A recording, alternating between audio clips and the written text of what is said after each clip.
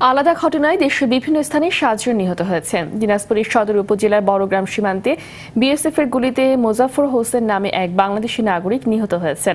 ব্রাহ্মণবাড়িয়ার কসবায় গণপিটুনিতে দুজন নিহত হয়েছে। পুলিশ জানায়, উপজেলার গোপীনাথপুরে দুই ডাকাতকে ধরে গণপিটুনি দেয় স্থানীয়রা। পরে ঘটনাস্থল থেকে দুই মরদেহ উদ্ধার করা হয়।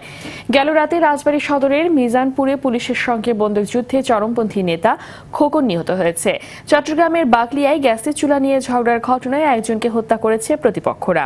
পরে একজনকে আটক করে পুলিশ। সাতক্ষীরার আলিপুরে চালককে কুপিয়ে হত্যা শেষে মোটরসাইকেল ছিনতাই করেছে দুর্বৃত্তরা। যশোরে এক যুবকের মরদেহ উদ্ধার করেছে পুলিশ।